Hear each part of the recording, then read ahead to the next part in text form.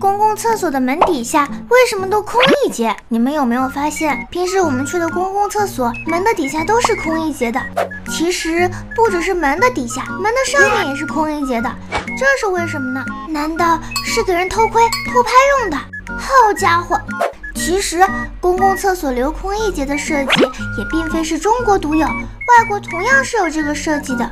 数据表明，美国的厕所门离地的标准是九英寸，而其他的国家更是达到了十二英寸。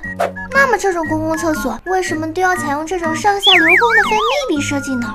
之所以采用这个设计，第一个原因就是方便让外面发现里面的情况。首先，上厕所时只需要往门缝底下扫一眼。就可以快速发现厕所里面有没有人，这样能够有效的避免推门的时候里面有人的尴尬。其次，厕所里面的人如果有身体健康的突发状况，厕所外的人通过门底下留空，可以及时发现厕所内部的情况，采取救援。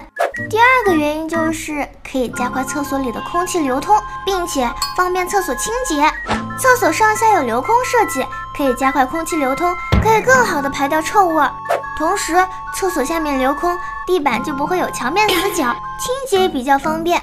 第三个原因就是上下留空设计可以节约厕所材料成本，使用上下留空的设计，制作厕所的材料就可以不用那么多，相应厕所的成本也减少了。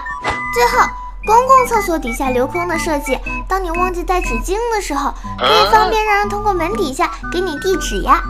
当然，你要是愿意的话。递个外卖进来给你也行，反正门缝足够的宽。我是不正经学姐，我懂的东西实在是太多了。